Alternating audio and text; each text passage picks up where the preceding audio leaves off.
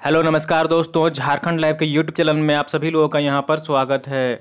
दोस्तों, यहाँ पर रांची यूनिवर्सिटी द्वारा जो है एक यहाँ पर बीएड में नामांकन लेने वालों लोग के लिए यहाँ पर जो है वो एक खुशखबरी निकाल कर आई है और ये है कि बी कॉलेज में रिक्त सीटों पर जो है वो यहाँ पर फिर से नामांकन प्रक्रिया जो है वो शुरू होगी। तो हम लोग यहाँ पर उसके बारे में पूरे डिटेल्स में बात करने वाले हैं। तो अगर आप झारखंड लाइव चैनल में अगर नए हैं तो सबसे पहले चैनल को ज़रूर सब्सक्राइब कर लीजिए और साथ ही जो बेल आइकन बना हुआ उसको प्रेस कर लीजिए ताकि आगे का जो भी अपडेट्स आएगा, वीडियो आएगी, नोटिफिकेशन सबसे पहले आपको यहाँ पर मिल जाएगी। तो चैनल को ज़रूर सब्सक्राइब कर लीजिए और चलिए देखते हैं कि यहाँ पर जो है वो क्या प्रक्रिया रहने वाली है।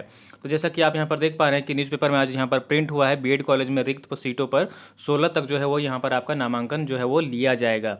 तो राज्य के बी कॉलेजों के में बीच हुई सीटों पर नामांकन की प्रक्रिया फिर से यहाँ पर शुरू होने जा रहा है। सोमवार को रांची विश्वविद्यालय की ओर से 136 बीएड कॉलेजों की सीएमएल रैंक धारक अभ्यर्थियों की सूची उनके ईमेल एड्रेस के साथ जो है वो भेज दी गई है।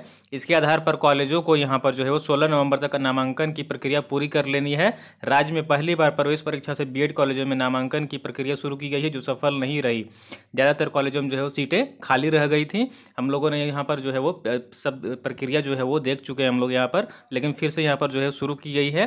ज़्यादातर कॉलेजों में सीटें खाली रह गई जिसके बाद उच्च तकनीकी शिक्षा एवं कौशल विभाग ने, विकास विभाग ने दोबारा खाली सीटों पर नामांकन की प्रक्रिया जो है वो शुरू कराई है।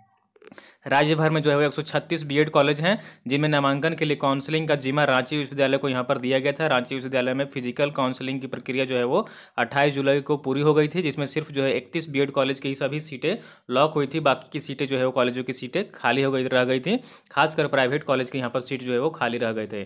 वहीं तेरह सीटों में दस सीटें ही लॉक हुई थी। सीएमआई रैंक वाले अभ्यर्थियों की संख्या अठारह थी।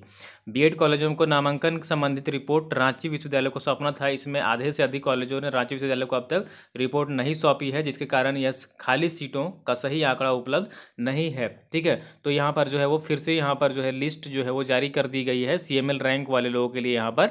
तो यहाँ पर आप 16 नवंबर तक जो है वो एडमिशन लेने की प्रक्रिया जो है वो चलेगी और आप यहाँ पर जो नहीं अभी तक एडमिशन लिए हैं जिनके पास सीएमएल रैंक धारक हैं जो, वो यहाँ पर आप एडमिशन ले सकते हैं। तो आगे जो भी अपडेट्स होगा दोस्तों, आप तक हम ज़रूर यहाँ पर लेकर आएँगे। तो अगर चैनल को सब्सक्राइब नहीं किए हैं सब्सक्राइब कर लीजिए और वीडियो को अधिक से अधिक शेयर कर दीजिए। आप हमारे टेलीग्राम में भी ज्वाइन कर लीजिए, नीचे आपको लिंक जो है वो मिल जाएगी। कुछ अपडेट्स जो है वो मैं वहीं पर दिया करता हूँ टेलीग्राम में भी।